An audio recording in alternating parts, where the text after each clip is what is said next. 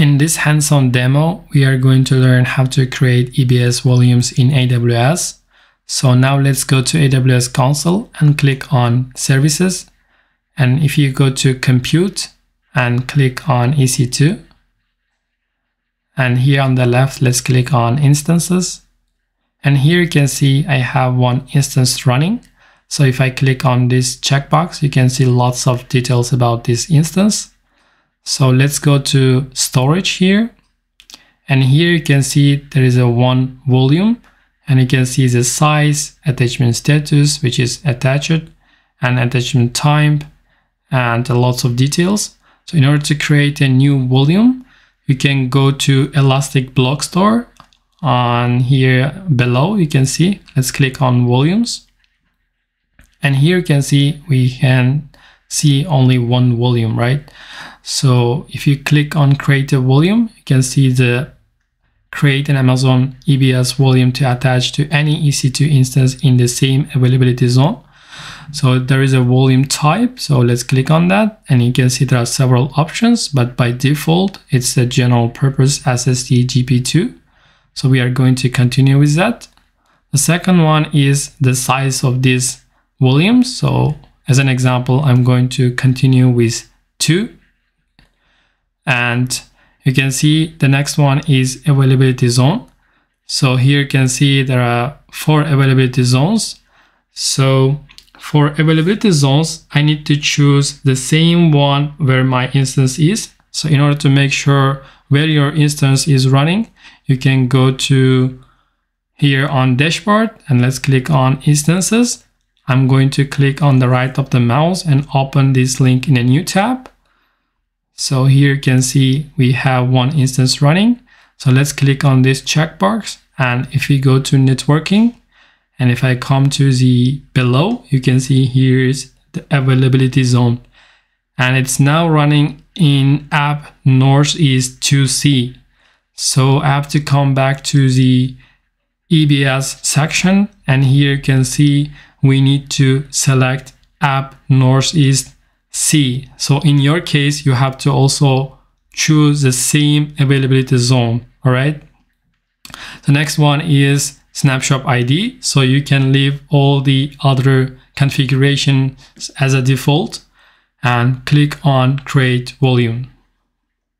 And now as you can see, we have two volume IDs, GP3 and GP2. The one is two gigabytes and the default is eight gigabytes. And if you go to the on the right, you can see the volume state. It's now creating. And if you go to the right, you can also see the multi attachment and encryption and other several details. So now let's go and click on this refresh refresh button here. And now as you can see, it's now available. So in order to attach this EBS volume to our instance, you can click on this checkbox and click on actions. And here you can see there is a attach volume. Let's click on that. And here you need to select your instance. And here you can see I have my first instance running and simply click on attach volume. And this will attach this volume to the instance. As you can see, it's showing the volume state is in use. So now let's go to instances. I'm going to refresh this console, this uh, page, this instance page. And if I click on this checkbox again, and if I go to the storage, here you can see the volumes, two volumes. The one is the default and another one is the one that we have just created together. So if you go to the on the right, you can see the delete on termination. The one which is default is delete on termination yes, because while we were creating EC2 instance, we configure it is as default and its a default is by default it's yes, but this one is no, which means that if you delete your EC2 instance, this the default volume will be terminated and this one that we have created will not be terminated. So this is how you can create the EBS volumes in AWS. So And one thing you have to make sure that EBS volumes are indeed bound by specific availability zone.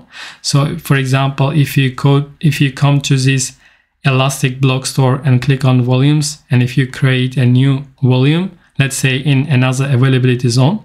So I'm going to, for the size of this, I'm going to select, for example, let's say 8 GB. And for availability zone, let's say we want to choose ap northeast 2a, which is not the same as my instance running. It was in ap northeast 2c. So if we continue with ap northeast 2a, and if we click on this create volume, and now as you can see, it's now in creating mode state. So let's refresh that. And now as you can see, it's available.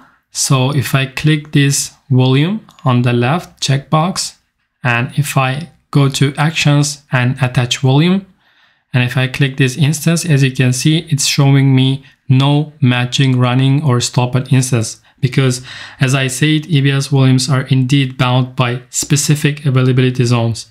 So you cannot attach them. So let's cancel that and delete this volume. Actions and delete volume. So that's all about it for this video. Thank you very much and I will see you in the next videos.